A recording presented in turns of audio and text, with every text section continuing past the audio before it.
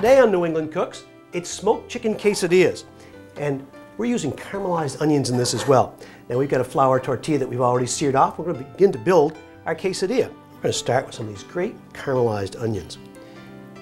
There we go. We're to layer those right in. And of course, you can use whatever ingredients you'd like. We're using pepper jack cheese today as well because it happens to be one of my favorites. We're going to put in some of the smoked chicken now. Have that and some of this pepper jack cheese. Now, I happen to like habanero too. A little bit hotter, but it's great flavor. You can use some of the new roasted garlic cheddars in there as well. We've got that. We're just going to cover that over and let that melt for a couple of seconds before we flip it. There we go. We've got that flipped over. We're going to let that melt a little more on that side for just a couple of seconds. Now, we made a homemade salsa today. You can use salsa out of a jar, but it was really quite simple to do. We've got some nice Bermuda onion and some fresh tomato, some lime, and cilantro.